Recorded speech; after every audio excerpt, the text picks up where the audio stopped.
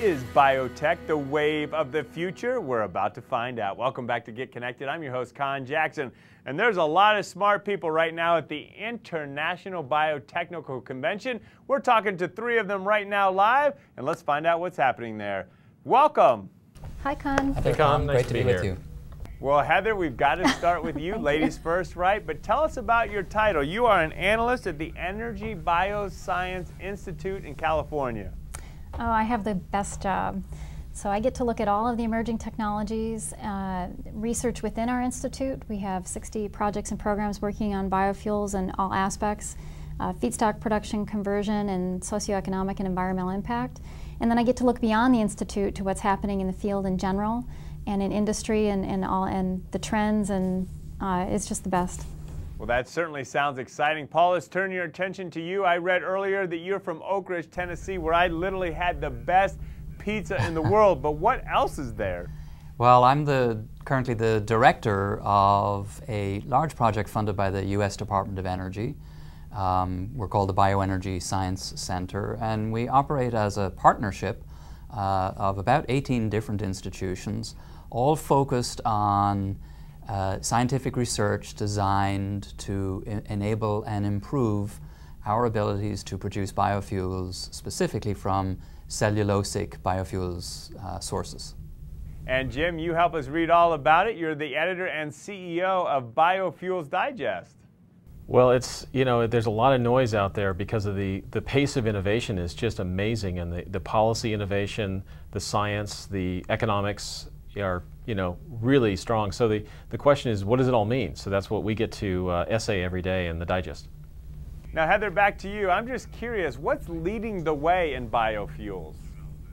Oh, there are so many different things. Uh, if we look at feedstock development, there are all kinds of new feedstocks coming online, things that, uh, that we can grow using marginal land that won't compete with food to make biofuel, so that's very important, um, and that we can do in, with environmental sustainability standards that are very high. Um, and in the conversion technology, we're really moving forward in making uh, total use of biomass in a very efficient way, and then making a variety of different types of molecules that can drop into the current fuel market. Well, Jim, I know you're down there for a conference. What has you most excited? Well, probably the, the, the thing that we're all very, very intrigued about is the um, incredible surge in interest in, first of all, the small retail investor in investing in these companies via the public, uh, the IPOs that have been happening.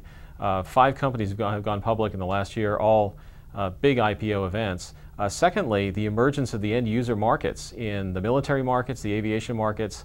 Um, the users are really crying out for the fuels and starting to invest in order to build the capacity themselves since they've, they've not seen the oil industry and building the capacity. They're going to do it. Uh, British Airways and other companies are, are moving forward. So that's, um, that's a very interesting development which we're tracking.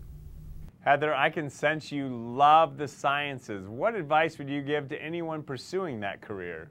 Uh, I think my advice in general would be, whether it's science or not, to pursue something that you're passionate about because that's what will really make you successful and happy in the long run. Are there any websites that our viewers can follow up on to learn more about biofuels? Sure, you can always track it uh, daily at, at uh, biofuelsdigest.com and DOE.gov, Department of Energy, is an excellent resource for a variety of information about the field. Paul, in closing, how can we best support your efforts?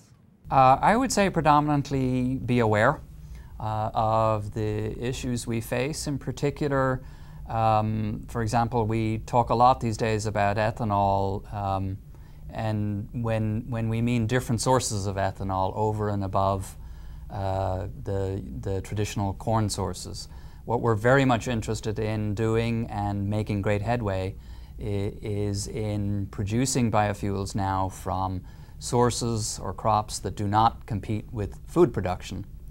Um, and so staying aware and staying abreast of those developments will be an important contribution the public can make.